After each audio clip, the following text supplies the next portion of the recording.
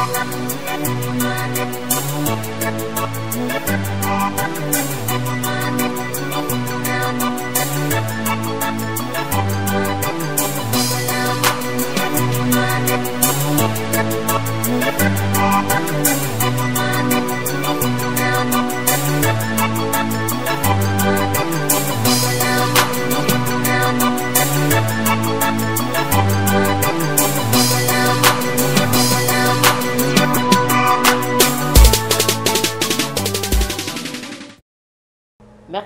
la régie, merci mesdames, messieurs, très chers frères et sœurs en Christ. Voilà avec euh, le même plaisir de vous retrouver ce mercredi 13 février 2019. Nous arrivons chez vous avec euh, l'envie de vous souhaiter que des bonnes choses puisque notre Dieu nous aime et il a voulu que nous soyons une fois de plus ensemble ce soir par euh, sa grâce. Nous partageons, en tout cas comme on a l'habitude de dire, que sa joie, sa paix, son amour soit toujours notre partage. Vous me connaissez, je suis très très heureuse de vous présenter aussi l'invité de ce soir que vous attendez impatiemment. Ce mercredi, comme tous les mercredis soirs, nous disons grand merci à notre invité. Nous allons lui souhaiter la bienvenue dans ce studio. Bonsoir Papa Charles. Euh, la fameuse question, hein, comment allez-vous? Nous espérons que tout va bien. Vraiment que Dieu vous bénisse. Bienvenue dans ce studio Papa Charles. Merci Madame la journaliste, hein, pour être franc avec vous, hein, si je dois être sincère. Physiquement, je vous dirais que je suis quelque peu fatigué. Hein. physiquement, vous voyez même euh, par les marques de mon visage, vous avez devant vous un corps qui est soumis à beaucoup d'épreuves, à beaucoup d'exigences. Donc physiquement, je vous dirais très fatigué. Mais mentalement, moralement, spirituellement, je vous dirais ça va. Parce que si Dieu est avec nous, qui sera contre nous. Qui sera contre nous. Donc je vous dirai tout de suite, Madame la journaliste, que ça va par la grâce de Dieu. C'est Dieu qui nous fait, euh, qui fait que nous puissions nous mouvoir. Et tant que nous avons cette assurance de l'intimité avec Dieu, de la communion, de la présence de Dieu dans nos vies, eh bien, nous sommes rassurés, nous sommes ragaillardis. Donc, peu importe ce qu'on peut rencontrer dans la vie de tous les jours, on se sent bien parce que on a la présence de Dieu avec nous. Et euh, je profite de l'occasion pour euh, saluer fraternellement tous les auditeurs, tous les téléspectateurs qui nous suivent. Et euh, votre confiance est renouvelée à travers les différents témoignages qui nous parviennent. Et c'est à juste titre que nous vous disons ce soir merci, parce que vous nous donnez là un retour qui nous permet, nous aussi, de continuer à avoir foi à la main de Dieu dans cette émission. Donc, euh, quand vous nous écrivez vos textos, euh, certains même sur Internet, et le plus souvent, quand nous nous retrouvons dans des embouteillages, on dit Papa Charles, c'était bien, telle émission. Dernièrement, je sortais de l'émission et j'étais abordé par un monsieur au niveau de Chimbamba qui m'a dit Papa, le poison de l'adultère, c'est un thème qui m'a aidé. C'est ce qui fait que nous aussi, nous soyons reconfortés et que nous aussi, malgré les péripéties de la vie, malgré les vicissitudes de la vie, malgré ce que nous rencontrons dans la vie, nous nous disons que nous avons ce devoir devant Dieu et devant vous. Donc, euh, que Dieu vous bénisse. Grand merci, Papa Charles. Grand merci à vous, bénémoine le Seigneur, mesdames, messieurs. Très chers frères et sœurs en Christ, voilà la vitrine de ce mercredi 13 février, comme je l'ai dit tantôt, 2019. Nous allons parler de toujours le chrétien, comme d'habitude. Nous allons parler du chrétien et les affaires. Voilà le thème de ce soir, le chrétien et les affaires. Et puis, euh, puisque nous sommes les chrétiens et puisque nous voulons tous faire des affaires et nous savons aussi déjà qu'il y a ceux-là, ceux d'entre nous qui font déjà les affaires, on va en parler avec vous. Comme d'habitude, les deux numéros seront affichés, euh, le, celui de, des SMS et d'appel. Mais tout de suite, on vous donnera donc le top pour euh, appeler avant de développer le thème. Mais d'abord, d'abord, nous voulons demander à Papa Charles, vous avez aussi envoyé les SMS, les préoccupations, chercher à savoir pourquoi deux semaines sont le direct. Parce que là, nous sommes en direct ce soir, 21h passées de 21 minutes. Et il y a deux semaines en arrière, on n'était pas, pas en direct avec nos bien-aimés téléspectateurs et auditeurs. Papa Charles, euh, qu'en dites-vous C'est la question dont euh, les, les, préoccupations de nos frères et sœurs ont voulu que Papa Charles puisse répondre ce soir. Vous êtes bien placé pour savoir que même ce soir, il ne devait pas avoir de direct. direct. Et donc, euh, c'est par. donc, je, dirais tout je disais tout à l'heure que c'est cet amour que vous manifestez à notre égard, à l'endroit de cette émission, qui a fait que malgré le programme très chargé qui est le nôtre ces derniers temps, que nous revenions devant vous. Pas de direct euh, deux fois, deux semaines de suite, simplement parce que nous étions donc dans un certain nombre d'occupations et euh, ces occupations ne nous ont pas donné la force et le temps de venir devant vous. Donc c'est la seule raison.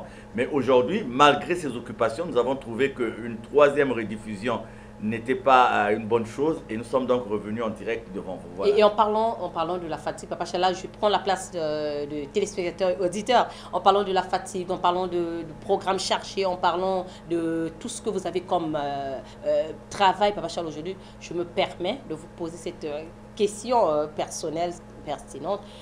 Papa Chal, est-ce que Papa Chal a une vie, une autre vie? Parce que vu tout ce que vous avez à faire, hein, en tout cas, dans l'association, dans la vie, dans le travail, on connaît votre euh, profession. Papa Charles, est-ce que Papa Charles a une vie vraiment euh, en dehors de tout ce que vous faites? J'allais dire vie de famille, véritable vie de famille. Est-ce que vous avez un peu de temps pour euh, la famille? En tout cas, c'est une question dont on a envie de savoir. Vous êtes très, très chargé à savoir. Oui, il y a beaucoup de gens qui me posent cette question parce que on me voit sur beaucoup de théâtres à la fois et on se demande comment je fais. Je vais vous dire une chose, si je m'amusais à rentrer dans ce genre de questions, il me sera difficile de faire ce que je fais. Donc moi j'ai conscience d'une chose, je me lève le matin, je remets ma vie entre les mains de Dieu et je sais que la journée est finie quand je me, mets au lit pour dormir. Donc ce qui se passe entre le moment du réveil et le moment où je m'en vais dormir, je remets entre les mains de, de Dieu. Donc euh, des fois, euh, je me réveille et je vois le film de la journée écoulée, de la journée passée. Et je suis même surpris d'avoir été à la fois à tel, tel, tel endroit. Je suis même surpris, vous savez, il y a des moments, il m'arrive de faire, euh, euh, de passer toute une journée euh, dans, dans, dans, une cour de justice. Et après, je me retrouve le soir à l'émission. Et après, je dois faire. Mais en fait, je me pose plus ce genre de questions. Je me dis, je me lève, je remets ma vie entre les mains de Dieu. Et le reste est entre ses mains. Mais je crois que ça devient pour moi comme une drogue, en fait, cette euh, comment dirait cet encombrement et tous ces embouteillages dans la vie, ça devient comme une drogue parce que des fois, quand euh, je n'ai pas une adversité, je sens comme s'il n'y avait rien. Donc, c'est ce qui fait le piment un peu de ma vie aussi. Bon, voilà, ça part avec ça et Dieu est présent. Donc, voilà quoi. Dieu présent, mesdames, messieurs, le chrétien et les affaires ce soir, voilà le thème que nous allons développer avec vous, bien aimés dans le Seigneur, à la radio, à la télé ce soir en direct. Le numéro sera donné tout à l'heure pour que vous participez. Mais nous voulons développer et déjà euh, faire en tout cas l'introduction de ce thème, le chrétien et les affaires. La première question euh, concernant ce thème, nous voulons demander à Papa Charles, quelle est la place déjà de l'argent? Quand on voit affaire, on pense à l'argent. Quelle est la place, en tout cas, de l'argent dans la vie d'un chrétien? Parce que quand on voit chrétien, on se dit, euh, il y, a, des, des, des, des, parenthèses, il y a des, des, guillemets. Est-ce que l'argent a une place dans la vie d'un chrétien, Papa Char Voilà. Donc, vous posez une question importante. Parce que vous savez, aujourd'hui, la frontière entre le monde et l'Église devient une frontière poreuse. Sinon, il y a des endroits où elle n'existe même plus. La frontière entre la société et ce que nous devons être nous dans les milieux de prière, nantis de la parole de Dieu, cette frontière n'existe plus. Pourquoi? Parce que dans des moments de précarité, dans des moments de morosité, dans des moments euh, de pauvreté, le chrétien oublie qui il est. Et facilement, il s'adonne à ce qui n'est pas de, de Dieu. C'est la raison pour laquelle les thèmes que nous choisissons depuis un certain temps vont dans le sens de ramener le chrétien à une certaine intégrité, tout au moins à donner au chrétien la force de s'en sortir par rapport à la situation qui nous est imposée aujourd'hui. Je dis la situation qui nous est imposée, pourquoi? Parce que nous rencontrons cette situation dans la société.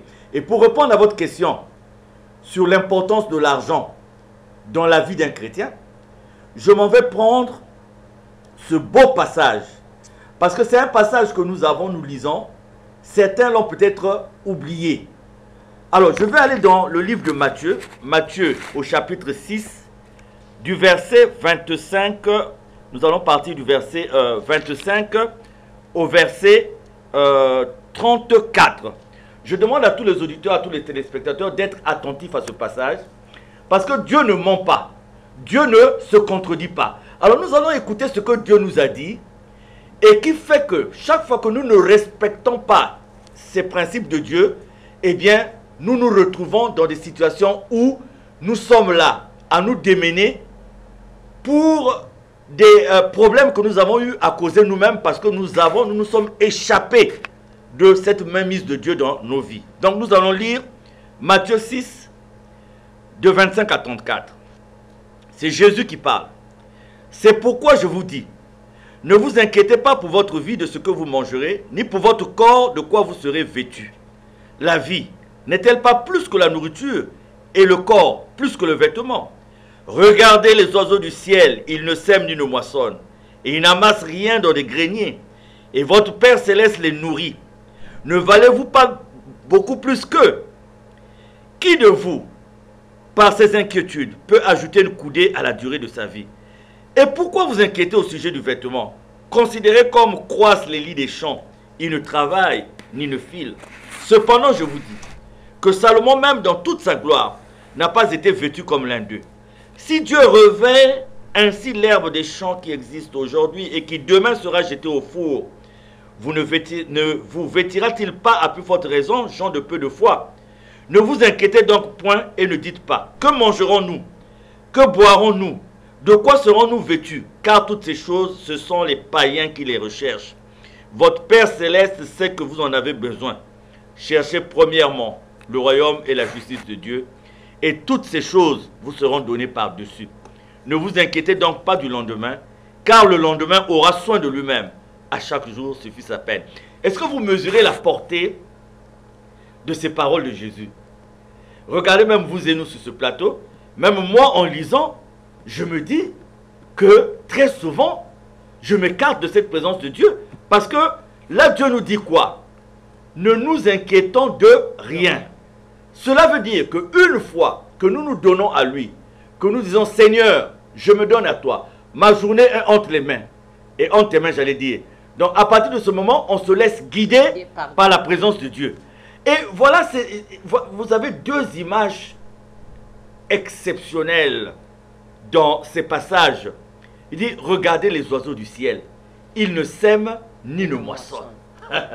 Les oiseaux du ciel ne sèment ni ne moissonnent. Les oiseaux du ciel n'ont pas un compte en banque. Les oiseaux du ciel n'ont pas euh, un travail où ils attendent avec un bulletin de paye le salaire. Mais Dieu les nourrit. Et quand il parle du vêtement, nous sommes là, nous, allons, nous venons sur le plateau, il faut savoir qu'est-ce que nous allons porter. Tu dis, mais regardez les lits des champs. Regardez la beauté des lits des champs. Et même Salomon n'était pas mieux loti que les lits des champs. Qu'est-ce que Dieu veut nous dire par là? Qu'il est le chemin, il est la vérité, il est la vie. Donc, dès lors qu'on se rapproche de Dieu, nous avons le chemin, nous avons la vie, nous avons la vérité. Cela nous ramène à cette première communauté de chrétiens dans les actes des apôtres, quand on nous parle d'une société qui n'avait ni démunis, ni pauvres, où les gens vendaient tout, prenaient ce qu'ils avaient de cher, amenaient au niveau de la société.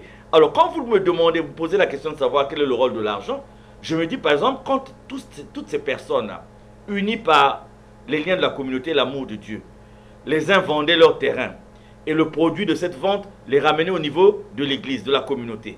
Les gens ramenaient ce qu'ils avaient de cher et on partageait. Quel était finalement le rôle de l'argent à partir de, de, ce moment? Donc, il faut concevoir le rôle de l'argent de par l'attachement et l'amour de Dieu. Hein?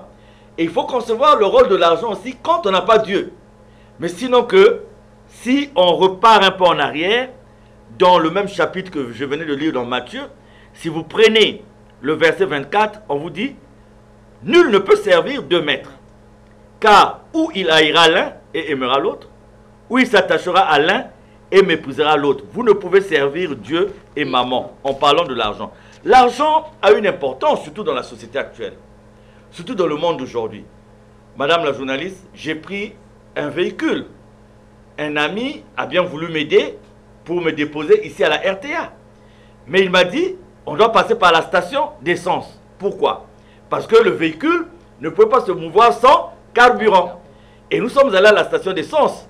Est-ce que la station d'essence, on va dire, bon, madame la pompiste ou monsieur le pompiste, Matthieu 6 dit, ne vous inquiétez de rien.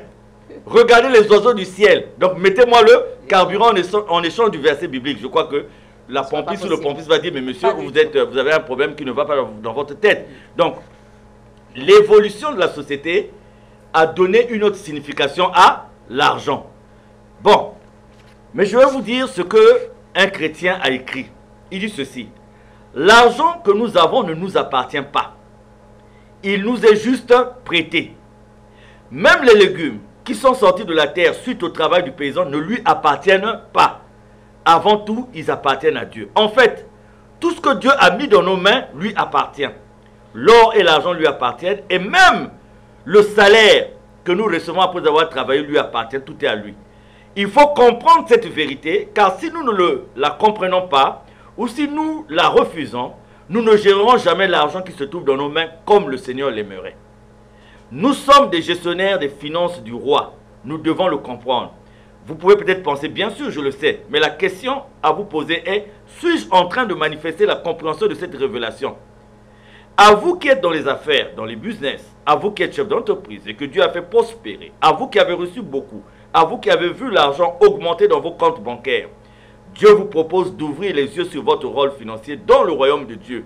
Ne gardez pas dans vos mains ce qui doit être semé. Ne vous autorisez pas à emmagasiner ce que Dieu vous appelle à semer. Donc, un principe très important, une fois que nous sommes partis de ce que nous avons lu dans le sermon sur la montagne, ne vous inquiétez de rien. C'est-à-dire que ayez cette entière et totale confiance en Dieu pour prendre en main votre vie. Nous avons ici un aspect important. On nous dit, l'argent que nous pouvons manipuler, l'argent que nous pouvons détenir ne nous appartient pas. C'est une notion très importante parce que quand nous savons que c'est un prêt temporel de Dieu en notre faveur, à partir du moment où la crainte de Dieu nous dictera une utilisation judicieuse de cet argent. 1 Timothée 6, pour terminer, de 17 à 19, dit Recommande aux riches du présent siècle de ne pas être orgueilleux et de ne pas mettre leur espérance dans des richesses incertaines, mais de la mettre en Dieu, qui nous donne avec abondance toutes choses pour que nous en jouissions. Recommande-leur de faire du bien, d'être riches en bonnes œuvres, d'avoir de la libéralité, de la générosité. Donc, l'argent a une importance. Mais l'argent, c'est un prêt que Dieu nous fait. Et, aujourd'hui, en, vous écoutant déjà, Papa, si l'argent que nous avons ne nous appartient pas, vu le thème de ce soir, le chrétien face aux affaires, parce que les affaires, c'est l'argent, aujourd'hui, on veut demander à Papa Charles, alors, quelle est la place des affaires? Qu'est-ce que Papa Charles entend par affaires? C'est seulement si on veut euh, continuer à, développer, à, chercher à avoir plus, plus comme argent, comme compte bancaire. Voilà, donc je repartirai à euh, cette, euh, encore à ce passage où Dieu nous dit, après donc, le péché originel, tu mangeras la sueur de, de ton front. Donc nous avons, à partir de la désobéissance, le fait que pour gagner notre vie, nous devons peiner.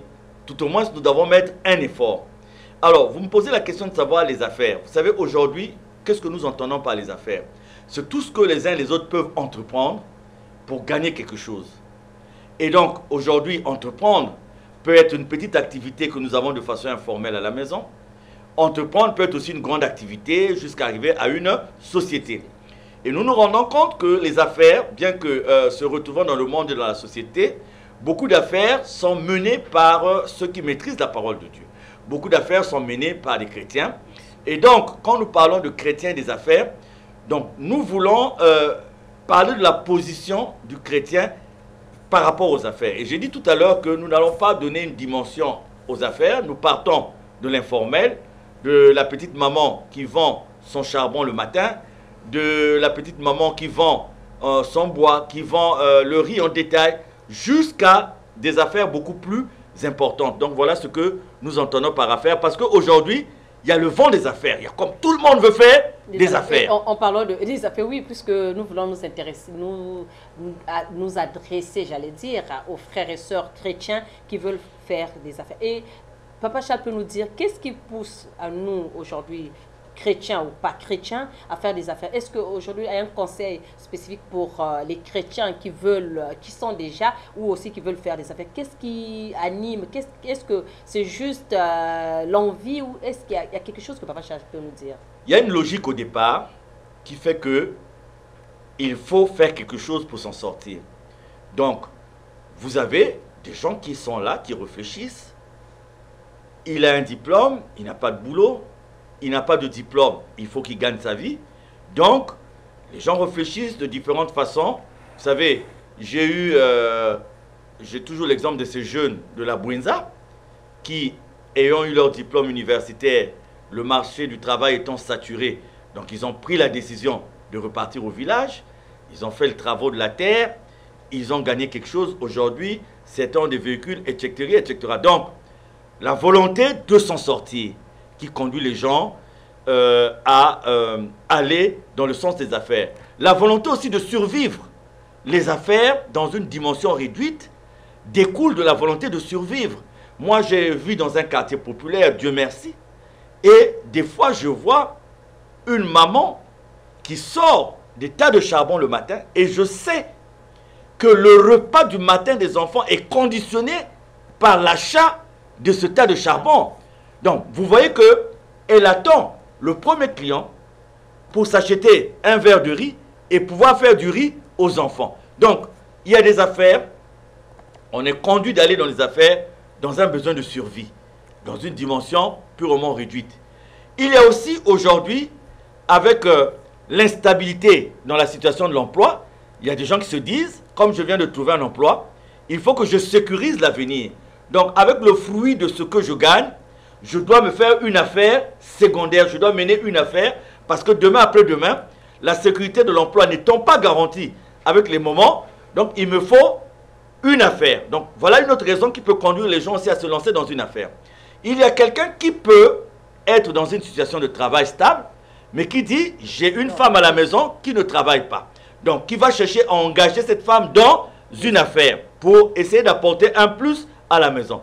Il y a des gens qui travaillent aussi de façon normale, mais dont le salaire ne contribue pas à aller d'un premier jour du mois jusqu'au dernier jour. Donc on se dit, il faut des soupapes euh, de, de, de, comment dirais-je, euh, un peu, il faut des, des, pneus de secours. Donc les gens, en travaillant, vont entreprendre aussi des affaires. Mais il y a aussi des gens qui ont la suffisance sur un plan financier, mais qui vont aller dans les affaires par suivisme, par enthousiasme. Et j'ai vu des gens faire des affaires, mais en fait, ils n'attendaient rien de ces affaires. C'est-à-dire, ils ne gagnent rien. Là où ils travaillent, il a de l'argent qu'il gagne de façon malhonnête. Il en a même beaucoup. Il ne sait pas ce qu'il faut en faire. Et il s'engage dans des affaires. Et dès qu'il perd la position d'avoir de l'argent, les affaires aussi tombent. Parce que ce sont des affaires qu'il a, qu'il a menées, qu'il a eu à mettre en place, non pas pour gagner de, de l'argent, mais simplement parce qu'il ne sait pas ce qu'il faut faire avec de l'argent. C'est quelqu'un, par exemple, qui va se lancer dans un truc d'élevage, mais chaque fois qu'il il manque euh, l'aliment de bétail, il va prendre l'argent qu'il gagne malhonnêtement, il met. Chaque fois qu'il manque ceci, donc il ne réfléchit pas sur le fait de rentabiliser euh, ses affaires. Donc, vous voyez, il y a différentes raisons qui peuvent conduire les gens à faire des affaires. Et notre souci aujourd'hui, c'est de donner comme, de faire un rappel aux uns aux autres que quand nous nous lançons dans les affaires, nous qui maîtrisons la parole de Dieu, ou tout au moins qui connaissons la parole de Dieu, qu'est-ce que nous devons faire et qu'est-ce que nous ne devons pas faire? Voilà la grande question. Puisque nous sommes les enfants de Dieu, puisque nous sommes euh, les chrétiens et on veut être en harmonie avec tout ce que nous faisons dans notre société, la, grande question que ce soir, Papa c'est de savoir quelle est donc la place de Dieu dans tout ce que nous faisons Est-ce qu'il y a des limites Est-ce qu'il y a des barrières? Oui, bien entendu. J'étais en train de... J'ai perdu mon papier tout à l'heure. J'étais en train de... J'ai retrouvé les écrits d'une personne qui dit ceci, qui dit, dans les affaires, nous sommes au contact des collaborateurs, des employés qui forcément ne connaissent pas Dieu. Parce que euh, la liberté de culte est garantie. Et donc, vous pouvez vous retrouver dans les affaires avec un associé vous, vous connaissez la parole de Dieu, mais l'associé ne connaît pas la parole de Dieu. Et vous vous lancez dans les affaires. Vous, vous savez que quelque part, la notion la plus importante qui est à retenir, c'est le fait que vous devez mener les affaires en étant dans l'honnêteté. Mais aujourd'hui, nous allons comprendre que beaucoup de chrétiens ont laissé ce côté-là de l'honnêteté, ce côté des préceptes de Dieu, parce que les affaires ont fini par les conduire dans ce qui n'est pas de, de, Dieu. Et ils se disent, bon, écoutez, pour réussir, vous savez, aujourd'hui, euh, je discutais, quand euh, euh, je préparais ce thème, je discutais avec un ami qui est homme d'affaires, entre guillemets, et il m'a dit, mais Charles, mais aujourd'hui, si tu n'es pas malhonnête, tu ne peux pas réussir dans, dans les affaires. Aujourd'hui, si tu te dis, tu payes les impôts de façon normale, aujourd'hui, si tu te dis, tu vas payer euh, les, les, les charges sociales pour tes employés de façon normale, tu ne vas pas t'en sortir. Il dit, toutes les affaires aujourd'hui, il faut forcément prendre des chemins qui ne sont pas catholiques. Je ne sais pas pourquoi ils utilisent cet adjectif, mais simplement je crois que c'est pour dire que, parce qu'on dit des chemins qui ne sont pas catholiques. Donc vous voyez que vous êtes là, vous avez cette volonté de respecter la parole de Dieu, de respecter les préceptes de Dieu. Mais vous êtes dans, dans les affaires où vous êtes en plein dans la société. Et Dieu vous recommande d'être honnête. Dieu vous recommande de, Être social, de prendre en charge de façon normale les gens qui sont vos employés. respecter. Dieu vous demande de ne pas rentrer dans le faux. Dieu vous demande de ne pas faire usage du faux. Mais vous allez vous retrouver à un moment donné où vous allez faire la différence entre, sauf si vous êtes soumis, c'est-à-dire vous êtes chrétien, vous êtes dans une affaire, mais vous n'êtes pas le patron de cette affaire. Vous n'êtes pas le propriétaire de cette affaire. Donc vous subissez la volonté du patron. Mais par, contre, si vous êtes patron de cette affaire et que vous vous dites, bon, ma chrétienté, euh, mon attachement à Dieu se limite à l'église. Mais en ce qui concerne les affaires, en tout cas, je mouille comme tout le monde. À partir de ce moment, il faut se poser la question de savoir, on est chrétien quand, on est chrétien. Vous voyez que même dans des phénomènes de suivisme, j'ai trouvé une maman qui a eu un taxi, elle a eu de l'argent, elle a acheté un taxi, et elle dit, il y a quelqu'un vers Ngoyo la plage qui bénit les véhicules. Donc, on ne peut pas mettre un taxi dans la circulation. Pas les gens, mais les voitures. Les voitures, il bénit les voitures. C'est-à-dire qu'il euh, il fait brûler euh, de l'herbe ou je sais pas qu'est-ce qu'il fait, une fumée, pour que il ait la chance, pour qu'il ait ceci. La Moi, je dis, ne mais maman, panne ou bien qu'il voilà, pas des voilà. Je dis, mais maman, toi, tu connais Dieu. Tu as la parole de Dieu. Si ton activité, avant de la mener, tu l'as confiée à Dieu, à partir du moment où tu mets en mouvement le taxi, tu remets le temps entre les mains de Dieu, et il me dit, non, papa Charles, il ne faut pas que ça canne na mambouine. Na kati ya circulation, pas expliquer que nous de façon. Donc, euh, la personne ne fait pas des fétiches, mais c'est une bénédiction que la personne fait dans la voiture. Donc, vous voyez, vous allez prendre des exemples de beaucoup de chrétiens qui sont dans les affaires, qui vous diront que, par exemple, celle qui a une table au marché, au lieu de payer euh, les taxes hein, qu'on je sais pas, qu'on 200, paye, elle va chercher plutôt à se faire euh, l'amant, la maîtresse de celui-ci. Donc, en fait, les affaires, on y est, on s'y met. Et ce sont ces affaires qui souvent nous détachent de Dieu. Et aujourd'hui, Papa Charles, s'il si il y a d'autres affaires qui nous détachent de Dieu, s'il y a d'autres affaires qui, euh, apparemment, nous, nous, nous le faisons par, euh, par contrainte, si vous me permettez, on- on- à cela, on peut donc euh, conclure qu'il y a des bonnes et mauvaises affaires. Oui, toutes les affaires,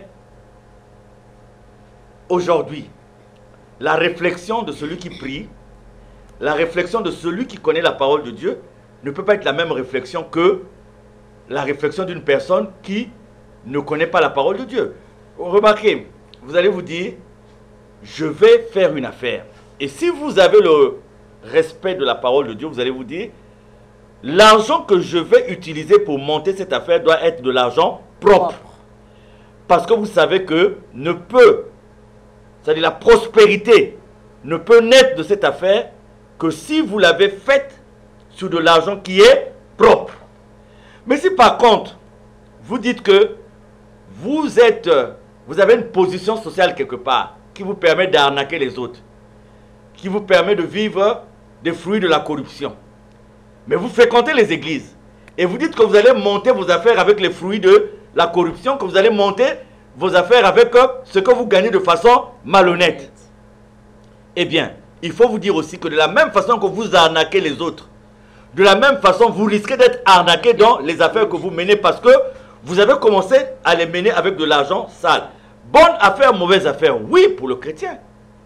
Aujourd'hui, est-ce qu'un chrétien accepterait par exemple de vendre les ossements? Non, Non. Pourquoi? Parce que c'est c'est les humains. Aujourd'hui, une humains. chrétienne, même si on dit que euh, nous devons gagner à la sueur de notre front, est-ce que pour autant une chrétienne ira faire la prostitution? Même s'il est question de sueur, mais ce n'est pas la même sueur dont parle la Bible. À partir de ce moment, c'est aussi une mauvaise, une mauvaise affaire.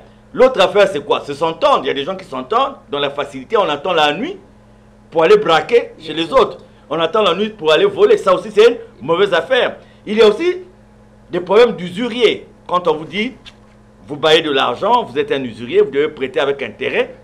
Est-ce que c'est une bonne affaire par rapport à ce que vous faites souffrir de la part des autres? Donc, il y a aussi un choix qui est dicté par la volonté de Dieu. Ce que je veux faire, est-ce que ça répond à la volonté de, Dieu? Tout part de là. Dès lors qu'on sait que l'argent que nous manipulons est donné par Dieu, Madame la journaliste, à partir de ce moment, avant de s'engager dans quoi que ce soit, on réfléchit d'abord ce que je veux faire. Oui, je vous ai pris quelques exemples ici. Mais par contre, vous allez trouver d'autres exemples, ce sont les paradoxes de la vie, qui font que, malgré que les affaires là sont nourries, entre guillemets, par les autres, mais elles restent des affaires. Aujourd'hui, vous avez des gens, vous avez des morgues privées. Il y a des morgues privées dans certains pays africains. Et dans ces morgues privées, on ne peut payer les travailleurs qu'avec eux. Donc, pour, pour qu'il y ait la matière première pour faire fonctionner cette affaire, c'est les cadavres. Donc, celui qui a une morgue privée, quelle est sa prière Sa prière, c'est de dire, Seigneur, que demain, qu'il y ait des morts. Parce qu'il n'y a pas de morts, l'affaire ne marche pas. Le pharmacien, la pharmacie, c'est une bonne chose. Sinon, si nous sommes malades, nous, allons, nous irons où? Donc, le pharmacien aussi dira pour que la, la, pharmacie marche. Et surtout si on loue le local de la pharmacie, il faut payer le loyer, il faut payer. Donc, il faut souhaiter qu'il y ait un peu plus de moustiques qui puissent piquer un peu par-ci par-là pour que les gens viennent à la pharmacie. Ceux qui ont des euh, maisons de vulcanisation. Donc, des menuisiers qui fabriquent des cercueils, Vulcanisation d'abord, madame la journaliste. Pour que celui de la vulcanisation puisse vivre, sa prière c'est quoi Il faut qu'il y ait des pneus qui crèvent. Donc, est-ce que le chauffeur qui roule, il a envie que son pneu puisse crever Non. non. Mais ça, je, n'appelle pas ça des mauvaises affaires. Ce sont les paradoxes de la, vie.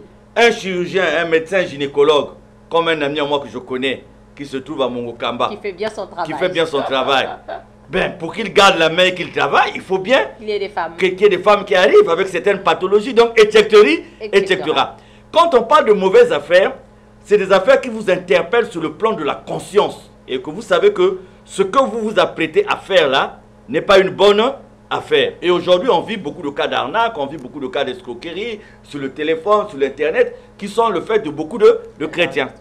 Mesdames, Messieurs, euh, avec euh, le réel plaisir de vous, informer que voilà, le top est arrivé, comme euh, la région peut nous signaler, que vous participez aussi en direct de cette émission Parler du chrétien et les affaires. Et puisque nous savons que nous, faisons les affaires, la question ce soir c'est de savoir est-ce a des bonnes affaires ou les mauvaises affaires? Quelles sont les affaires qu'il faut faire? Est-ce que Dieu est toujours dans tout ce que nous faisons? Est-ce que nous participons, continuons à, faire en tout cas la volonté de notre Dieu dans tout ce que nous faisons? Parce que nous avons dit les chrétiens, c'est cela qui reflète vraiment le maître.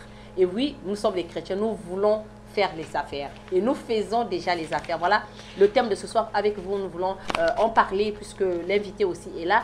Nous voulons rester dans, ces agrafes, si vous voulez encore, chrétiens et affaires. Chrétiens, parlons des chrétiens dans les affaires. Chrétiens dans les mauvaises affaires ou dans les bonnes affaires. La grande question, ce soir, la régie nous met euh, déjà le numéro. Le numéro, c'est le MTN, j'allais dire. Le RTL est fermé. Donc, euh, on va utiliser, un seul numéro, le MTN, que la régie déjà a mis. Et pour euh, nos bien-aimés frères et soeurs qui nous écoutent à la radio, sur la 103.00, nous avons le 06 474 82 28. 06 474 82 28. Et si vous voulez faire un texto pour participer, répondre aussi, hein, participer ou encore donner votre point de vue, vous envoyez le, SMS, le SMS au 06 661 56 76. 06 661 56 76. C'est le numéro par lequel vous pouvez envoyer les SMS. Et les appels, vous appelez au 06 474 82 28. Le chrétien et les affaires. Quelles sont les bonnes affaires Quelles sont les mauvaises affaires? Est-ce que nous avons toujours notre Dieu? Euh, La place de Dieu est toujours dans tout ce que nous faisons. Voilà.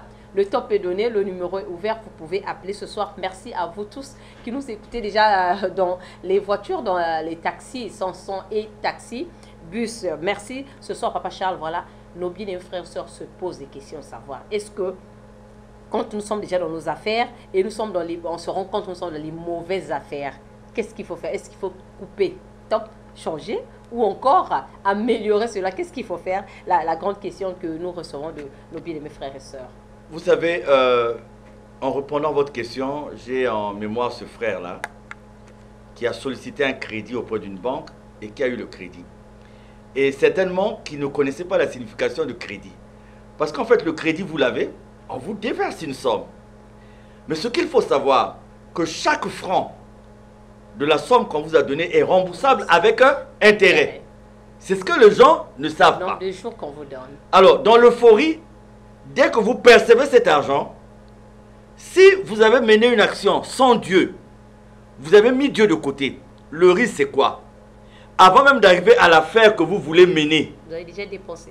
vous allez rentrer, on va fêter, j'ai eu un crédit, on va fêter. Et vous avez l'argent qui part.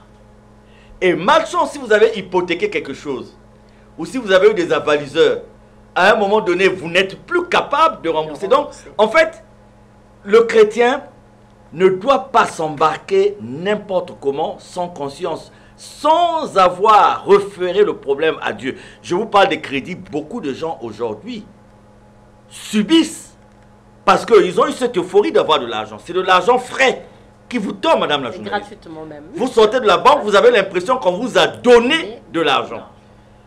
En réalité, on vous a prêté cet argent. travailler.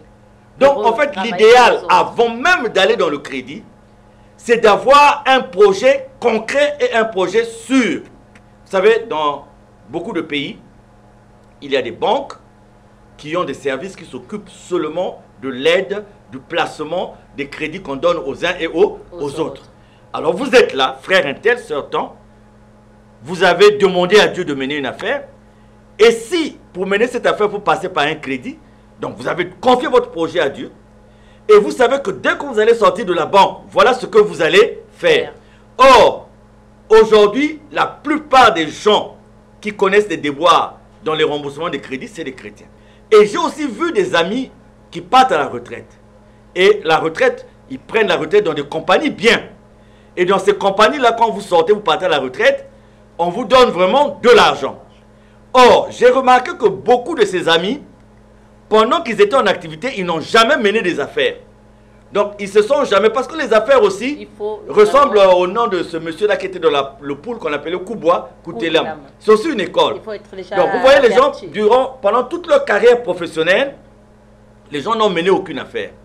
Maintenant, dès qu'il y a le jackpot là qui tombe à la retraite, c'est là où le monsieur veut maintenant faire des, affaires. des affaires. Et souvent, c'est la précipitation. Je connais un ami qui est tout de suite allé à Dubaï dès qu'il a eu. euh, l'argent. il- je lui dis, mais est-ce que tu vas à Dubaï, tu sais ce que tu vas faire? Oh non, moi je vais aller acheter tel produit. Je dis, mais mon cher ami, Pour les vendre. produits que tu vas acheter, les gens de ces pays-là eux-mêmes les vendent Sur sur place. Est-ce que tu auras un marketing mieux que ce que eux ils font? Donc tu vois, l'euphorie, c'est comme beaucoup de femmes allaient maintenant en Guangzhou, en Chine, parce que tout le monde allait en, en Chine. Aujourd'hui, tout le monde veut faire taxi parce qu'on a vu l'autre faire taxi. Mais on ne comprend pas comment faut faire le taxi. Aujourd'hui, tout le monde veut faire VIP parce qu'on a vu tout le monde faire VIP. Donc, il y a aussi ce suivisme-là qui fait que, bon, on est sûr, on a monté un projet, mais on l'a montré par la passion. C'est-à-dire qu'il n'y a pas eu du sérieux. Il y a des gens, même dans un couple, le monsieur va monter un projet sans que la femme ne puisse être au courant de ce qu'il va faire. Alors que Pas de conseil. il serait passé par une discussion préalable avec sa femme. Voilà, j'aurai l'occasion d'avoir tel crédit. Voilà ce que je veux faire. Il y a des femmes aussi en secret qui font des tontines, qui prennent l'argent de la tontine, qui vont dans les affaires sans que le monsieur ne soit au courant. Et voyez déjà, ce manque de communication dans un couple chrétien est déjà en soi un défaut. Donc, vous allez voir que beaucoup de gens connaissent les déboires simplement parce qu'ils sont mus par la passion. Ils sont passionnés alors que dans tout ce que nous faisons, Dieu dit, dans tout ce que nous faisons, il faut d'abord tout remettre entre les mains de, de Dieu. En partant de ce principe-là, du serment sur la montagne, ne nous inquiétons ni de ce que nous allons manger, ni de ce que nous allons avoir comme vêtements. Deux, de partir du deuxième principe que l'argent, c'est quelque chose qu'on nous a On va, on va prendre ce- ce- cet appel. Allô, vous êtes en direct de Asla et nous ce soir. Bonsoir, messieurs. Bonsoir. euh, merci de- d'appeler ce soir. Quelle est votre participation déjà par rapport au thème que nous développons ce soir, le chrétien et les affaires? Moi, j'aimerais savoir si un chrétien peut gérer une boîte de nuit. La question, est-ce qu'un question chrétien est posée. euh, Peut- gérer une boîte de nuit Voilà, c'est aussi euh, une affaire, euh, faire une boîte de nuit. Est-ce qu'un chrétien peut gérer? On m'a posé la question que de savoir aussi si un chrétien pouvait euh, avoir un hôtel, un mini-hôtel. la, la régie va nous aider Euh. à, à- Allô de- allô? Allô, bonsoir madame. Quelle est votre contribution? Ah, monsieur. Ah, Pardon, pardon. Bienvenue ce soir. euh, par- la- votre participation par rapport à, à ce que nous sommes en train de dire. Ah, bonsoir. J'aimerais dire ceci que le terme le chrétien et les affaires, de ce côté, j'aimerais dire que le chrétien déjà revoit du côté spirituel et les affaires revoient du côté charnel. Donc, euh, c'est deux mots un peu différents. Donc, j'aimerais dire que le chrétien, quand il est en face euh, des affaires, euh, il doit avoir le discernement. Il doit avoir le discernement parce que euh, la comme on dit que la chair est faible, l'esprit est bien disposé. Donc, quand on fait des affaires, l'homme a toujours l'ambition d'aller vers de l'avant. Donc, euh, au cours des affaires, l'homme qui est au même moment chrétien peut euh, croiser des obstacles qui peut lui euh, conduire dans les mauvaises voies. Donc, j'aimerais dire que pour cela, il faut toujours se mettre tout entre les mains de Dieu. Sans Dieu, on ne peut pas, on ne peut rien faire. Parce que les affaires de roi la chair. C'est tout ce que j'ai comme euh, à dire. Grand Très merci. bien, très Grand bien. merci de votre participation ce soir. Il dit une chose qui est très importante.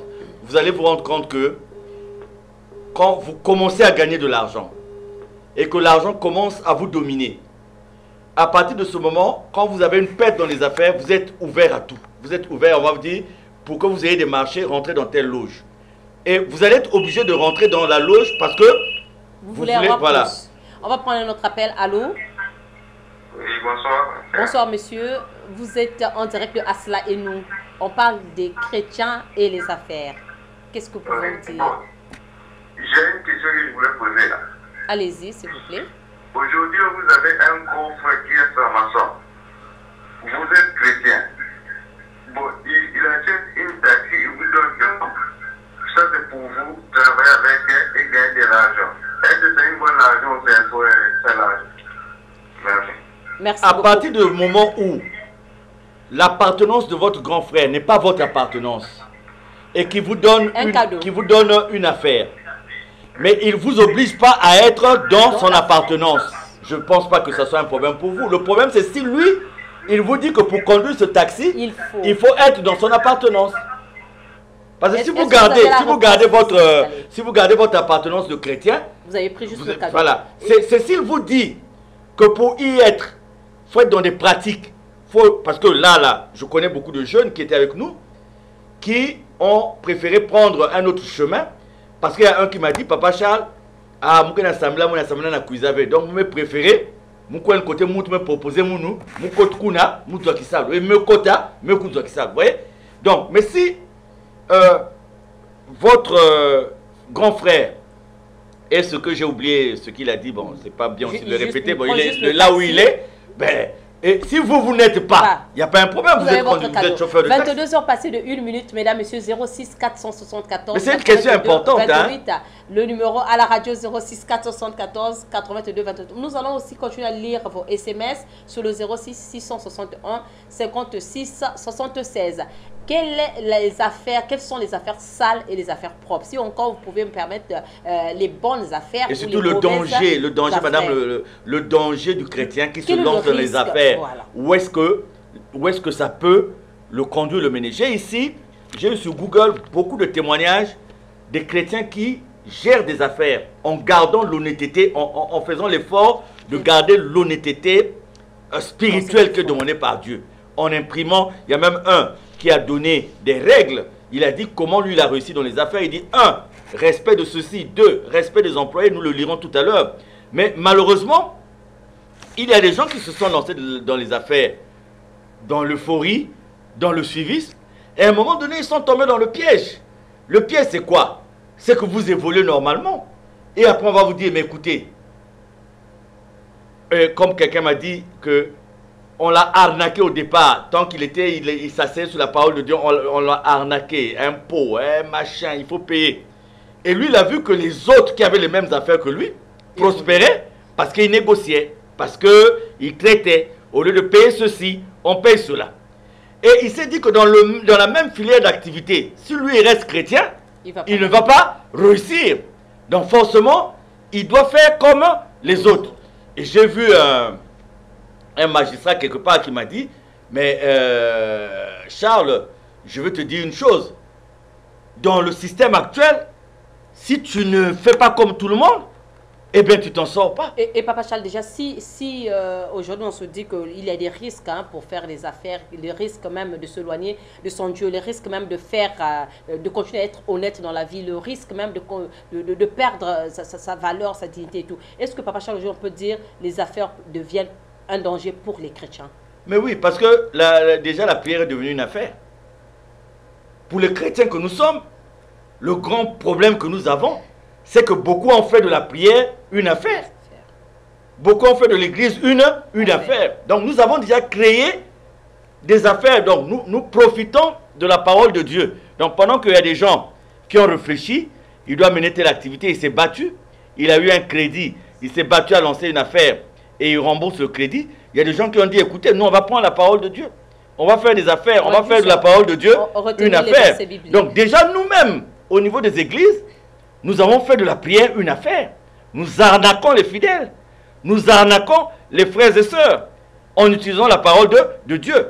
À partir de ce moment, quel est le crédit que nous avons si nous devons parler de l'honnêteté à ceux qui nous suivent? À partir du moment où l'honnêteté euh, de, de, de, obligatoire ou de circonstance, c'est cette honnêteté que nous devons avoir vis-à-vis du Créateur, vis à -vis de Dieu. Mais si nous déjà, regardez, j'étais en train de lire ici, on dit tous les apôtres n'étaient pas riches. J'ai lu un article ici, tous les apôtres de Jésus n'étaient pas riches. Mais regardez tous ceux qui se réclament apôtres, prophètes aujourd'hui. Ils veulent vivre même au-dessus de leurs moyens. Mais les fidèles qui suivent, c'est plus la parole de Dieu qu'ils voient, mais lui aussi il veut ressembler au pasteur, lui aussi il veut ressembler aux dirigeants de, de l'Église. À partir de ce moment, qu'est-ce que nous allons dire de ces déboires que les gens rencontrent dans la société? Nous n'avons rien à dire parce que nous-mêmes, nous avons placé l'Église dans une situation où l'Église n'est plus l'Église. Et c'est sérieux, madame, madame Aujourd'hui, vous allez voir que beaucoup préfèrent être appelés enfants de Dieu en étant dans les églises. Et dès qu'on sort de l'église, ce qu'on fait, Papa Charles, domaine il maintenant c'est trop, il y avait prière, parce que mon affaire à mon voilà. Vous trouvez des chrétiennes aujourd'hui qui ont fait de leur corps une affaire. Elle est là. Elle a trois téléphones. Le premier téléphone, c'est Doudou. Parce que c'est Doudou qui paye la maison. Le deuxième téléphone, c'est Vianney. Parce que c'est Vianney qui donne la popote. Troisième téléphone, c'est Cédric. Parce que c'est Cédric qui paye l'école des, des enfants. Et son corps devient une activité productive. Et son corps devient une unité de production. Mais elle est à l'église. Malheureusement. Elle est à l'église. À 6 heures du matin, elle est à la cathédrale et roule carrosse, voiture climatisée. Et quand vous allez voir la femme qui est à Rex là, on va me dire que même là-bas avec la crise, les prix ont baissé. Donc quand vous allez voir la, femme qui est à Rex, tout de suite vous allez l'indexer, vous allez dire prostituée. Et elle dit que prostituée. Mais celle qui est dans la voiture climatisée, elle est une prostituée. C'est le même mot. Mais vous allez, parce que elle a euh, un niveau de vie qui fait que Bon, on va se dire, il y a des sorts comme ça dans les églises. Quand le téléphone blanc sort, on sait que c'est ça, c'est Doudou. Maintenant, quand elle mélange les pinceaux, c'est le téléphone blanc qui a appelé. Elle dit Cédric. Ah non, je croyais que c'est le cousin qui m'avait ah appelé. Donc, vous voyez que la personne qui est dans la parole de Dieu ment. Et nous avons déjà, je crois que, la restauration de la dignité par rapport à la filiation honnête avec Dieu tient du fait d'abord que dans nos lieux de prière, il faut qu'on ait ce combat interne là. Il faut que l'Église se regarde en, face. Est-ce qu'on a transformé l'Église en une affaire? Parce que si nous avons transformé l'Église en une affaire, nous, nous déroutons les fidèles. Parce que tout le monde en vit, aujourd'hui tout le monde en vit les pasteurs, parce qu'ils roulent carrosse, parce qu'ils construisent un des belles villas. pauvre. Maintenant, repartons dans l'histoire de Paul, de Pierre, de Jean et tout. Si nous allons nous retrouver, nous qui nous réclamons là, parce qu'on dit, bon, eh, le serviteur de Dieu doit être... Les gens prennent les versets de la Bible pour leur satisfaction personnelle. Personnelle. Et voilà que aujourd'hui, qu'est-ce que l'Église va enseigner à la société? L'Église n'a rien enseigné devant la malhonnêteté, parce que l'Église est malhonnête. Qu'est-ce que l'Église va enseigner à la société? L'Église elle-même a eu à se compromettre dans ce qui n'est pas bien. Donc, il y a d'abord ce réveil-là. Je parle du vrai réveil, parce qu'on a parlé de réveil à un moment donné.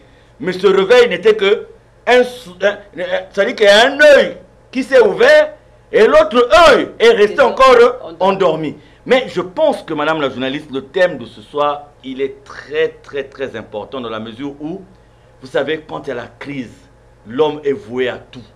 On te propose tout. Aujourd'hui, regardez la jeunesse. Les jeunes font pas dans la drogue. Ils dealent. C'est les jeunes qui fréquentent, ce sont nos enfants. Mais ils deviennent des dealers.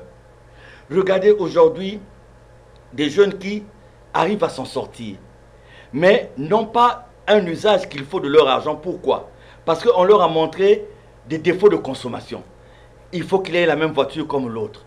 Il faut qu'il ait ceci.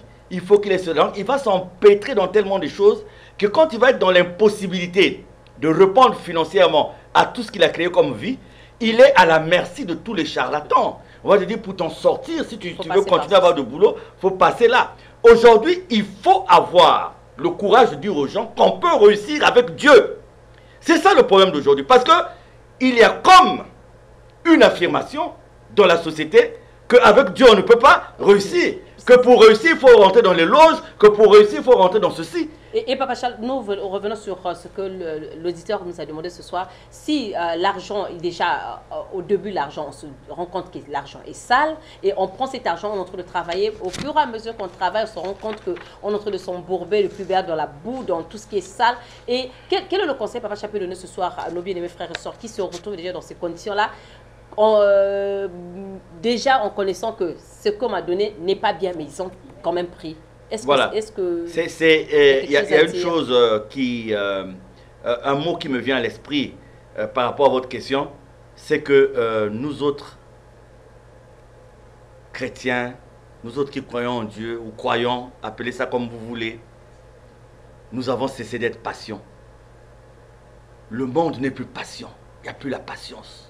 On veut gagner tout de suite. Ça nous rappelle nous autres au collège, quand on voyait dans les journaux les détectives privés Prenez vite ce que vous offre Sakyamuni. Prenez vite ce que vous offre Sakyamuni.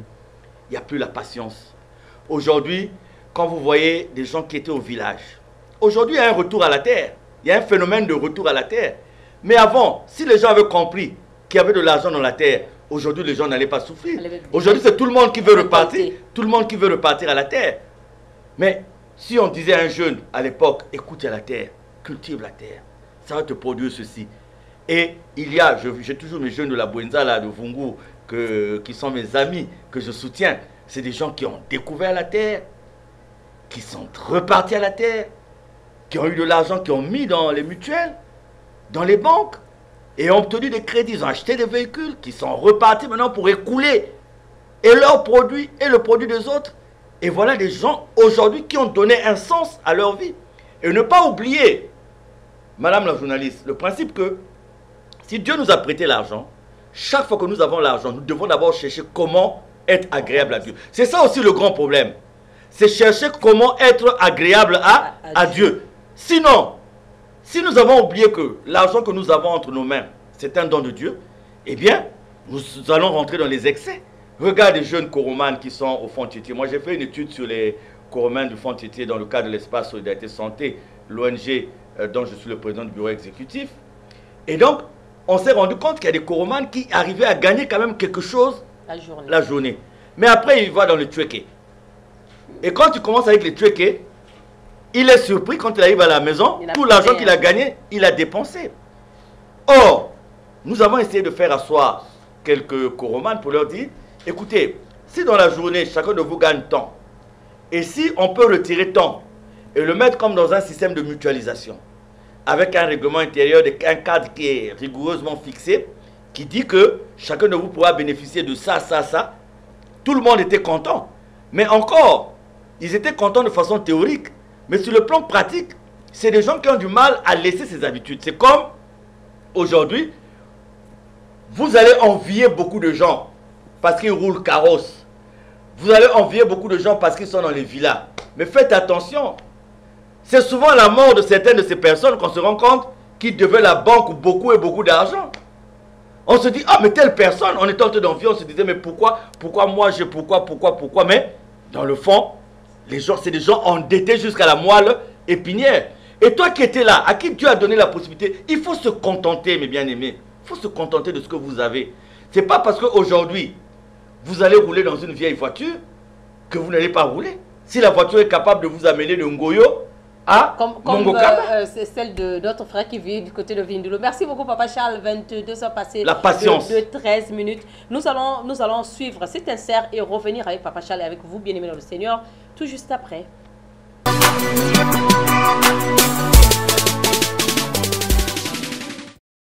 Le chrétien, en temps réel, comme on le dit, euh, ça vient d'abord du mot du christianisme. Christ est une personne qui a enseigné, qui n'a pas enseigné la pauvreté, il a enseigné la richesse, qui est dans les cieux et comme sur la terre. Un bon chrétien, c'est quelqu'un qui entreprend, qui doit avoir des initiatives dans la construction de la société et dans l'environnement là où il vit. C'est pour cela que le chrétien doit entreprendre pour faire vivre la société dans laquelle il vit. Le chrétien ne peut pas rester les bras croisés. Même lui-même, Dieu, il a façonné l'homme en faisant du travail. Donc, l'homme qu'il a créé selon son image, selon sa ressemblance, doit travailler, doit être créatif. Euh, l'argent, on peut dire que l'argent est très. C'est une nécessité dans la vie d'un chrétien, mais ce n'est pas une priorité. C'est une nécessité, mais ce n'est pas une priorité. Parce que la priorité pour un chrétien, c'est d'abord s'éloigner de tout ce qui est terrestre, comme on le dit dans la Bible. C'est ce que nous faisons de bon sur cette terre qui va nous permettre d'avoir le royaume de Dieu. Donc, le chrétien doit avoir de l'argent pour aider les autres, pour construire les églises et pour faire du bien aux autres. Pas pour aller faire de n'importe quoi. on voit des autres chrétiens, ils prennent l'argent, son salaire, ils vont dans les boîtes de nuit pour les boire, il est là. Et ils gaspillent l'argent pour, les, biens terrestres, hein, pour les choses terrestres. on appelle ça les désirs de la chair. Au fond, un bon chrétien, c'est celui qui doit, voir ce qu'il va faire avec son argent pour que ça lui donne la possibilité qu'il soit admirable devant Dieu. Bon, mosameli vie ya mbongo na ye eza mpona asoutenir œuvre de dieu œuvre de dieu wana biloko na kati ya église eza na mosala ebele ezodepanika mbongo kosunga omonde okenda bahôpitau kosunga baorphelin kosunga baveve kozwa lisusu baevre na kati ya église koconstruise église kopesa badume donc yango vraiment vie ya chrétien mbongo na oyo eza mpona odépendre mpona na église. Bon soki totali boye aza chrétien te un chrétien mbongo na ye eza mpona alia apartage na nzambe. Nzambe akokita na se te me nzambe eza bato oyo baza na, na se ya mokili oyo bazosouffrir nzambe azali evre ya nzambe. Neti na eglize ya batolo ezangi yo chrétien oza na mbongo fo oza capable opesa mbongo wana. Moto azokelela oza chrétien ifo oyeba kosunga motu wana. Me na ntango yo ozosunga te oza chrétien te parce que toza na saint esprit nde eza koconduire. Saint esprit etindaka moto na mabe te saint esprit etinda motu ifo osala babien fait me na ntango yo chrétien ozosala biloko wana oza chrétien te. Me soki okendaka kosambela ozosala biloko wana sengaka nzambe apesa yo saint esprit mpona etindaka osala baevre ya nzambe. Osoutenir evre ya nzambe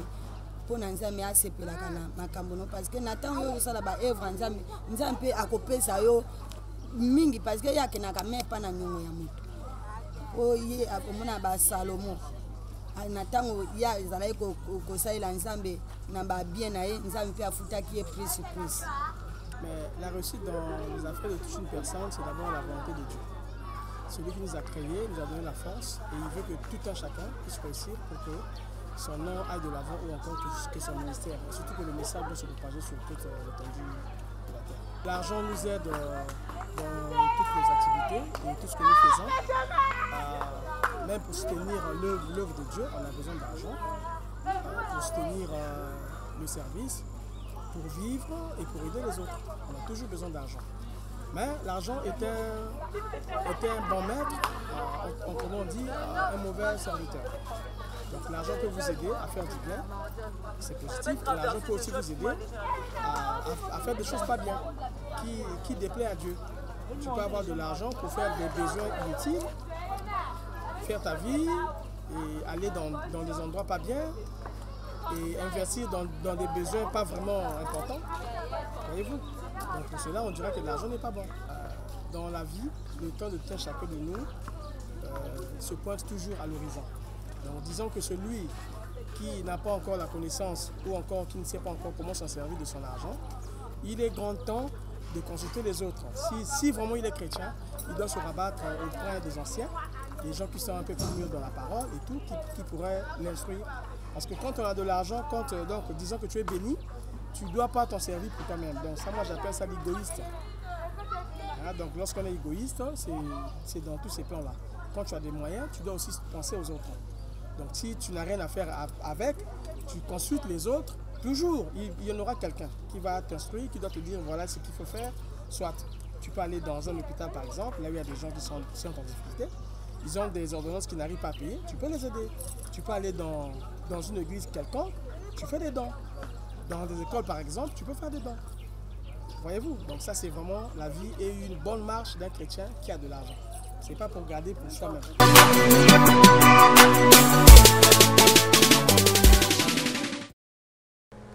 Merci beaucoup la régie. Voilà, le chrétien et les affaires, le thème de ce 13 février 2014, 2019. Autant pour moi, mesdames, messieurs, le plaisir est partagé de savoir que oui, chacun de nous se rencontre, chacun de nous se retrouve, chacun de nous a envie en tout cas de développer, se retrouver et toujours continuer à perfectionner parce que nous voulons euh, devenir euh, ou encore hein, toujours être des vrais modèles, des vrais enfants de Dieu. Puisque nous avons dit que nous sommes des chrétiens, qu'est-ce qu'il faut faire? Et quand on se rend compte que voilà, euh, ça c'est pas bien, quels sont les conseils que nous donnons aux autres? Voilà pourquoi le numéro ce soir est donné à vous qui nous suivez en direct ce soir et euh, aussi sur la 103.00 06 600 474, j'allais dire 82 28 06 474 82 28 pour participer au terme de ce jour, le chrétien et les affaires. Et en face, nous avons notre euh, bien-aimé frère. Vous voulez poser des, milliers de questions. En tout cas, vous avez euh, vraiment envie de, lui euh, demander ce soir. Et nous aussi, on veut, on lui, on veut lui demander, Papa Charles, aujourd'hui, puisque le chrétien a droit à participer aux œuvres de bienfaisance. Ce qui veut dire que le travail d'un chrétien, tout ce qu'il fait, puisque, comme a dit cette sœur, on voit Dieu par son prochain. On va prendre cet appel. Allô, vous êtes en direct de Asla et nous ce soir. Euh, quelle est votre participation? Bon, Ma participation, c'est juste pour ce que Papa Charles de dire. Aujourd'hui, nous tous jeunes, on est à de partition dans la vie. On a des difficultés. Et malheureusement, tous euh, faire des choses qui ne sont pas bonnes, aller euh, voir un fétichement, faire quelque chose devant l'activité qui a. Donc, euh, ce qui est mieux, c'est la patience et croire à son Dieu. Donc, c'est vraiment ça que je voulais dire. La patience et croire grand à son Dieu. Grand merci. Tout à fait. Aujourd'hui, quand vous avez participé? Demandez à un jeune qui tu veux être, il va te dire douanier, ministre, policier, peu importe, pasteur. Demandez, c'est-à-dire qu'aujourd'hui, les gens veulent, tout le monde, comme, il fut un temps, tout le monde voulait aller dans le pétrole, ce qui n'est pas mauvais. Mais c'est parce qu'on reste figé dans des conceptions qui euh, nous ramènent à la, facilité. Hein. Vous savez, les gens se sont trop plongés dans la facilité. Moi, je vous dis, vous savez, dans 1 Timothée 6, au verset 17, on nous demande que euh, j'ai dit dans 1 Timothée 6, de 9 à 11, on nous dit le désir de devenir riche a bien distingué du fait d'être riche est positivement mauvais. C'est-à-dire que pas le fait d'être riche, mais le désir de devenir riche est positivement mauvais. C'est-à-dire qu'on se décide à être riche. La question de savoir pourquoi. C'est-à-dire que vous, cherchez à sortir dans les- de l'état dans lequel Dieu vous a placé momentanément. On dit le contentement quand les nécessités de la vie sont satisfaites. Voilà l'état d'esprit. Donc le contentement quand les nécessités de la vie sont satisfaites. Donc se contenter de la satisfaction de certains besoins de la vie. C'est déjà ça la recherche.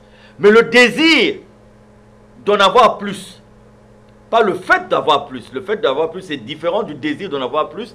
C'est ce qui conduit beaucoup d'entre nous à faire ce qui n'est pas bien. On nous dit même dans Acte 3 au verset 6 ou dans 2 Timothée euh, 4 du verset 13 au verset 21, on nous montre l'état de pauvreté dans lequel étaient les disciples. Différent d'aujourd'hui, j'ai un ami nigérian, euh, pasteur, et je lui ai posé la question de savoir, parce que lui, son but c'était d'avoir, euh, euh, comment on appelle ça, privé. un jet privé.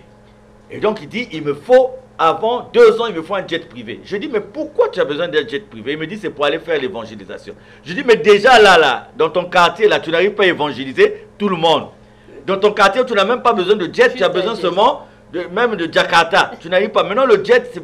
Donc, c'est, ce- cette formule, m'as-tu vu. Et on dit, tirer profit de la religion, soit pour s'enrichir, soit pour se mettre en avant devant les autres et sévèrement condamner. Tirer profit de la religion, soit pour s'enrichir, soit pour se mettre en avant devant les autres et sévèrement condamner. Les passages sont là. Et je m'en vais vous lire ce que j'ai trouvé aussi dans mes recherches. Ce commandement implique qu'il existe une grande différence entre croyants et incroyants. D'une manière générale, les motivations, méthodes et objectifs chrétiens sont incompatibles avec ceux d'un incroyant. La foi transforme le caractère d'une personne. La plus grande ambition dans la vie d'un chrétien est de glorifier le Seigneur Jésus et de lui plaire en toutes choses. Dans le meilleur des cas, un, un incroyant n'a que faire de ses objectifs. Vous savez, pendant que le chrétien, lui, son objectif c'est glorifier Dieu, L'incroyant, lui, il n'a que faire faire. de, ces- de cet objectif-là. Si dans les affaires, un chrétien partage les mêmes méthodes et poursuit les mêmes objectifs qu'un non-chrétien, il est probable que le chrétien doive réévaluer et réviser ses priorités. 2 Corinthiens 6, verset 14 poursuit par une question. Qu'y a-t-il de commun entre la lumière et les ténèbres? Dès lors qu'il y a partage entre plusieurs individus, on dit qu'elles sont en communion. Les associés d'affaires partagent beaucoup de choses. Ce qui appartient à l'un appartient aussi à l'autre. C'est précisément ce que signifie avoir quelque chose en commun.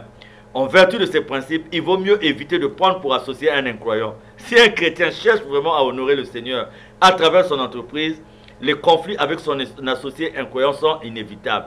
Deux hommes marchent-ils ensemble sans être concertés Amos 3, verset 3. Donc, on nous montre déjà le danger qu'il y a de s'associer dans les affaires avec des gens qui ne sont pas chrétiens. Quel conseil ils vont te donner? Tu vas dire à quelqu'un payons la totalité des impôts Même pas. il va te dire quoi Mais si on paye la totalité des impôts, on vide la caisse. Le, le gars des impôts est là, négocions avec lui. Ça, c'est celui qui n'a pas la parole qui Vous va vous jamais la pousser à le...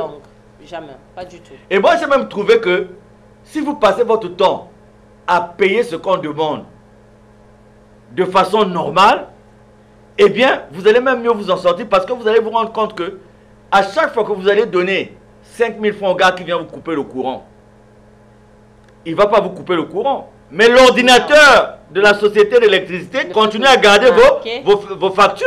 Vous n'avez rien fait. Donc, vous avez payé pendant un an, vous avez payé 12 mois, vous avez payé 5 000. Donc, multiplié par 12, ça fait combien? Ça fait euh, 60 000, je crois. 60 000. Vous avez payé 60 000 au monsieur parce que quand il vient, il sait, et lui aussi il sait, il vient même quand il n'y a pas besoin de couper. Parce qu'il sait qu'il y aura. Et au bout de 12 mois, la SNE va vous dire, vous êtes redevable De 60 de 000. 997 000.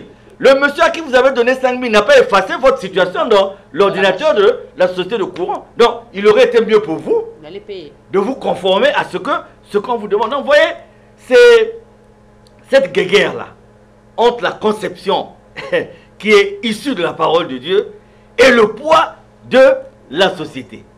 Grand merci, Papa Charles. 22h passé de 26 minutes. Nous allons nous arrêter avec euh, les appels. Vous êtes très nombreux à appeler. La ligne a été encombrée. Merci de votre participation. Sûr et certain que prochainement, on va euh, en tout cas arranger notre téléphone aussi. Hein, euh, vous prendre tous pour participer au thème que nous développons sur ce plateau. Merci, Papa Charles. Déjà, ce thème, le chrétien et les affaires, nous voulons nous séparer avec votre, vos conseils. Déjà, peut-être un petit conseil pour la, pour la fin. Est-ce qu'aujourd'hui, quand un chrétien fait des affaires et oublie peut-être euh, d'autres normes comme dîme, comme euh, partage, comme participer aux œuvres de bienfaisance est un péché. Et qu'est-ce qu'il faut faire à ce moment-là?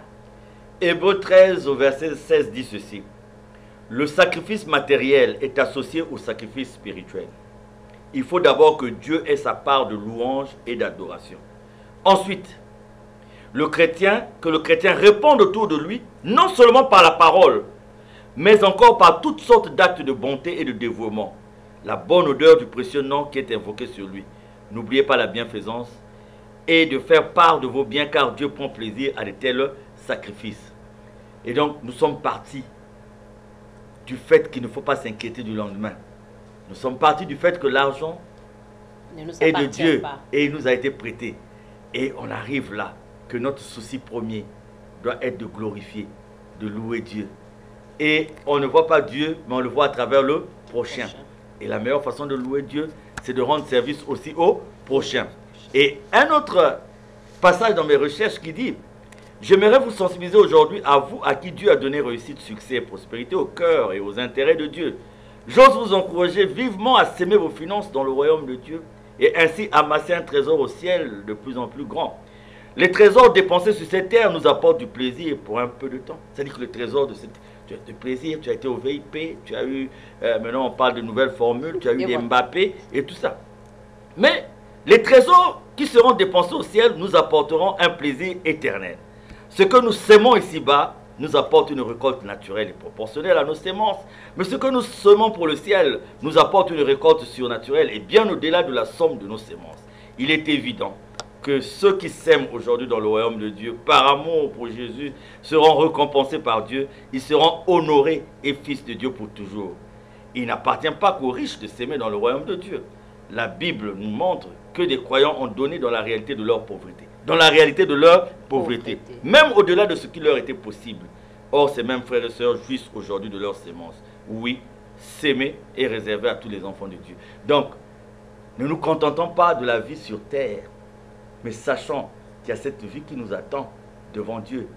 Et cette vie, nous la préparons par les actes que nous posons ici sur cette terre. Que faisons-nous de notre argent? Que faisons-nous des richesses que Dieu nous a données? Est-ce que nous sommes enfermés dans l'orgueil, dans le moi, dans l'égo, dans l'égoïsme? Ou alors nous avons compris que nous avons bénéficié là d'un privilège de Dieu, de gagner, d'avoir, et qu'en retour, nous devons montrer à Dieu que nous te servons aussi sur cette base du partage de l'amour. Vous savez, euh, il y a un grand travail à faire dans l'Église. Et moi, je suis confiant parce que je suis sûr, et je le dis, que Dieu ne se contredit pas. L'Église est à la croisée des chemins. Vous savez, la société, tout le monde se plaint. Il y a la perdition, il y a la dépravation des mœurs. Tout le monde se plaint dans la société. Phénomène de bébé noir, phénomène de ceci, phénomène de Mbappé. Tout le monde se plaint. Mais vous savez, l'Église doit retrouver sa place, son rôle.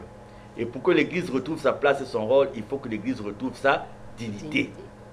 Et pour que l'Église retrouve sa dignité, il faut qu'il y ait dans l'Église des hommes qui ont compris qu'on peut être honnête, bien que nul ne soit juste sur cette terre, mais qu'on peut faire le travail de Dieu sans compromission, qu'on peut faire le travail de Dieu sans complaisance, qu'on peut faire le travail de Dieu sans pour autant être associé à ce qui n'est pas de, de Dieu. C'est le grand combat aujourd'hui. Et ce combat, c'est le combat de la vérité, madame la, journaliste.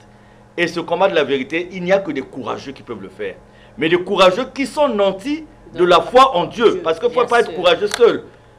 Mao disait qu'il vaut mieux être lâche et vivant que héros et mort. C'est ce que Mao disait. Mais la différence, c'est que avec Dieu, on ne meurt pas même si on meurt. Vous savez, non? Avec Dieu, on ne, meurt, pas, même si on meurt. Parce que Donc, Dieu qui là. mes bien-aimés, avant de faire quoi que ce soit, demandons à Dieu si ce que nous voulons faire est vraiment bon. Et une fois que nous sommes convaincus que c'est bon, remettons cette affaire entre les mains de, de Dieu. Mais sachant que on peut réussir sans les magiciens. On peut réussir sans les loges. On peut réussir sans les confréries. On peut réussir sans les féticheurs. On peut réussir avec Dieu. Parce que déjà notre naissance est une réussite. Notre vie sur cette terre est une réussite. Le souffle de vie que Dieu nous a donné est une réussite. Donc on peut réussir avec Dieu. Mais les jeunes, vous qui êtes enclins maintenant à adhérer à tout ce qui est négatif, revenons à la raison. Dirigeants d'église, revenons à la raison. Faisons de l'église cette force qui va imprimer à la société la bonne façon de marcher, la bonne façon de se conduire. Parce que la société n'est pas un humain, la société n'est pas un homme, la société c'est vous, la société c'est nous. C'est tous ceux-là qui vivent dans la société qui viennent dans nos lieux de prière. Donc si déjà nous avons cette force avec eux pour drainer dans la société des valeurs d'honnêteté, eh bien la société vivra dans la crainte de la malhonnêteté. Mais si nous, qui nous réclamons de Dieu, cette valeur morale suprême et supérieure, et que dans notre sein, nous avons transposé, sinon transporté les mots de la société. À partir de ce moment, c'est la société qui va avaler l'Église. Et quand la société va avaler l'Église, nous allons avoir une Église moribonde. Une Église qui ne sait même plus là où elle se retrouve. C'est pour ça que nous avons des églises comme les nôtres qui tous les jours se retrouvent dans les tribunaux. Parce qu'on a oublié la justice de Dieu. Vous allez avoir des églises comme les nôtres où tous les jours on se retrouve dans les commissariats.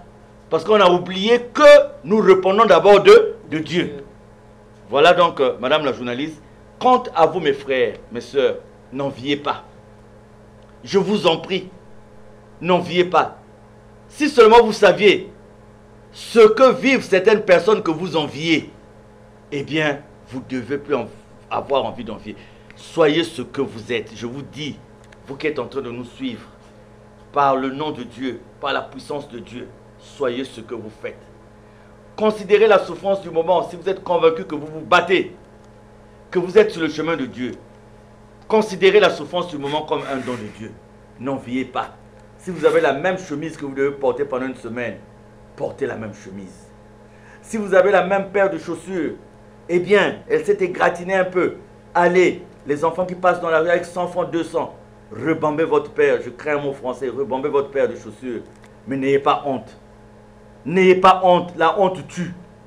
La honte, c'est ce qui a conduit les gens à sortir de l'intimité de la, la, communion avec Dieu et de faire ce qui n'est pas bien. La honte, c'est ce qui a fait que des femmes puissent tromper leur mari.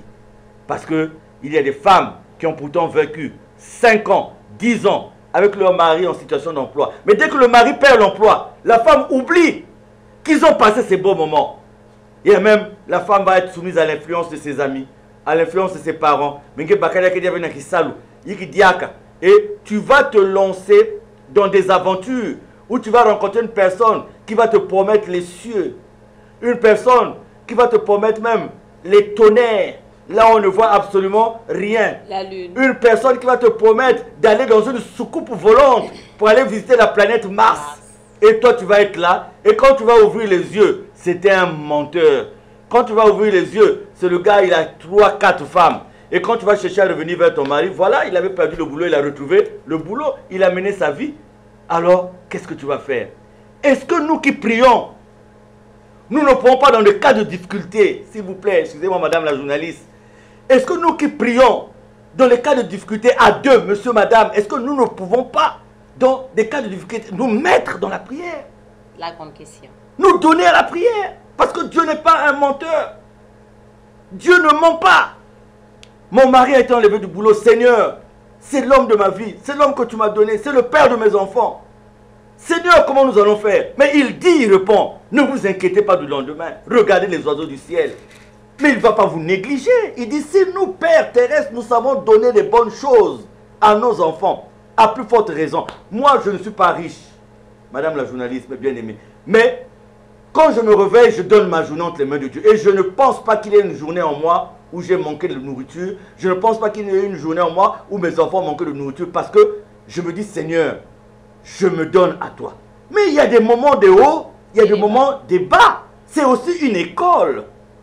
Romain dit les souffrances, les douleurs de l'enfantement, la femme qui souffre, elle se dit la vie s'arrête là parce qu'elle accouche, aïe, mounoué, tout ça. Elle insulte même le mari, doudou, mamangé. Mais dès que l'enfant sort, l'enfant pleure. La femme oublie. La femme on oublie. Donc, vraiment, madame la journaliste, j'ai pris un peu de temps parce qu'il y a des gens qui souffrent bêtement. Il y a des gens qui n'ont pas la patience. il y a des gens qui oublient vite. Ton mari n'a pas fait exprès pour perdre le boulot.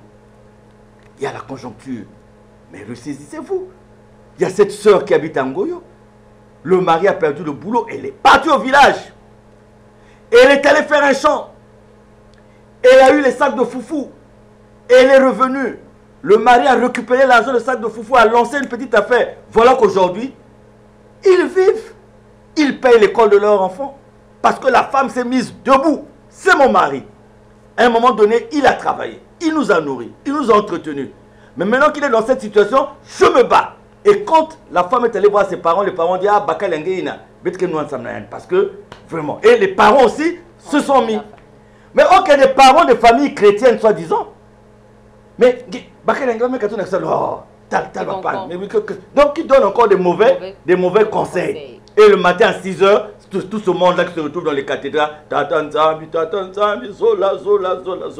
Bon, mais bref, on va s'arrêter là parce que on va réserver les autres thèmes aux émissions qui viennent. Mais je suis heureux de connaître Dieu.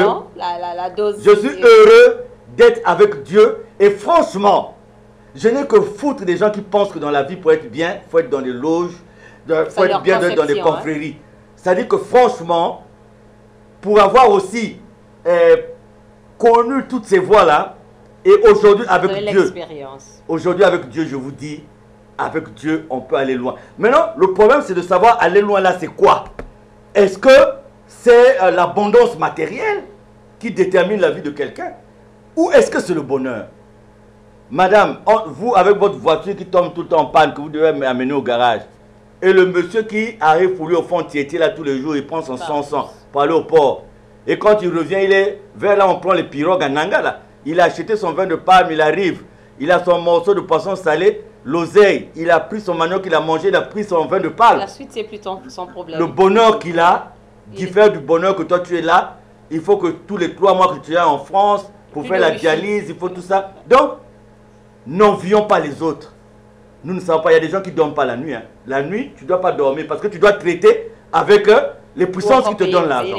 Moi, j'ai une maman, j'ai une maman, excusez-moi madame la journaliste, qui a vécu 30 ans avec un homme tous les deux jours, un boa venait vomir de l'argent. Et là, elle est restée dans cet état pendant 30 ans. Et c'est quand le boa a voulu la tuer, elle, qu'elle est venue maintenant livrer le secret. Mais pendant 30 ans, elle est à l'église. Pendant 30 ans, son mari se trouve à l'église.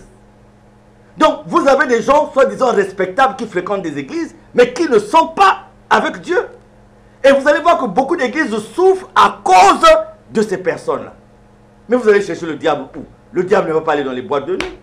Le diable ne va pas aller dans les milieux qui sont déjà acquis. Le diable ne viendra que dans les milieux de Dieu. Moi, je, répète, Madame la journaliste, vous avez déjà fini votre émission, mais souffrez que je dise que moi, je suis heureux d'avoir connu Dieu. Allez-y, s'il vous plaît. Je suis heureux de connaître Dieu. Je suis heureux d'être avec Dieu. Je ne suis pas juste, mais je suis heureux parce que la petite expérience de ma vie me dit qu'avec Dieu, on est fort. Et justement, si nous sommes souvent haïs, si nous sommes souvent pointés du doigt, c'est cette lumière de Dieu-là qui dérange. Mais vous ne devez pas déclarer forfait devant la vie, même si on vous promet de vous rendre pauvre, même si on vous promet je ne sais pas quoi, contentez-vous de la promesse que vous avez vis-à-vis de, de, Dieu. En tout cas, priez dans vos maisons. Vous qui allez dormir affamé, vous n'avez pas trouvé de quoi manger. Ne déclarez pas forfait devant la vie. Regardez le Seigneur. Il a dit, regardez les oiseaux du ciel. Le matin, en vous réveillant, vous allez vous souvenir des oiseaux du ciel parce qu'ils seront là, oui, oui, oui, oui, pour nous réveiller. Regardez les fleurs, comment Dieu les a habillées. Voyez, aujourd'hui, Papa Charles peut aller au marché de Tiettier. Là, on a ouvert un ballot. Il achète son jean. Il arrive à la maison. Il lave son jean. Il le porte. J'ai mon jean. Et souvent, les jeans là que vous prenez dans les ballots, il y a aussi des, marques. Hein, on a pris Wrangler, tout ça, euh, tout. Mais vous, vous allez dire que votre jean, vous devez aller l'acheter. C'est bien. Mais pendant ce temps, j'ai mis mon jean, j'ai mis ma petite chemise. Et si je suis un adepte de Mbappé, je mets des baskets. Et voilà, donc ça c'était pour vous faire rire. Donc euh, euh, ne, ne compliquez pas la vie. Voilà le bien-aimé. Je Grand vous merci. aime. Mille fois merci, Papa Charles. Mille fois merci à toute l'équipe ce soir. Euh, nous sommes très, très, très heureux de, de, de, de- de partir, en tout cas, avec ces conseils, de partir avec ces mots, de partir avec ces phrases, de partir, en tout cas, pour le terme de ce 13 février 2019. La joie est partagée, que la paix et l'amour de notre Dieu soient toujours notre partage. Et nous allons euh, nous souvenir que toujours ne pas oublier euh, avec quoi vous commencez et voir ce que vous pouvez avoir demain. Voir en tout cas la grandeur, la hauteur de ce que vous pouvez obtenir demain. Ne voyez pas ce que, avec quoi vous pouvez commencer aujourd'hui. Papa Charles, merci sûr et certain pour next time, mercredi, mercredi prochain, si Dieu nous prête vie. Merci à toute l'équipe, merci à plus d'appels la régie. en tout cas, on, on garde les appels pour euh, prochainement. Merci à vous. Il est 22h passé de 42 minutes. Nous allons nous retrouver la prochaine fois, comme je l'ai dit tantôt, merci à la régie Merveille Massi, Doudou Lester Likibi, euh, Mwanda, Sa, euh, Vianney Chrisetti. Mikungil, Eliezer, Naftali. Naftali. Merci à Mawete, merci à toute l'équipe. En tout cas, que Dieu vous bénisse. On n'oublie pas euh, tous nos fans. hein. Comme vous avez l'habitude de dire, Ah, en tout cas, on aime votre émission, on aime votre chaîne, on aime votre télé, on vous aime vraiment que l'amour de notre Dieu soit toujours, partout là où nous passons, notre partage. Pensez à vous et surtout, surtout aux autres parce que à chaque jour suffit sa peine. Au revoir, à la prochaine occasion. Bye bye.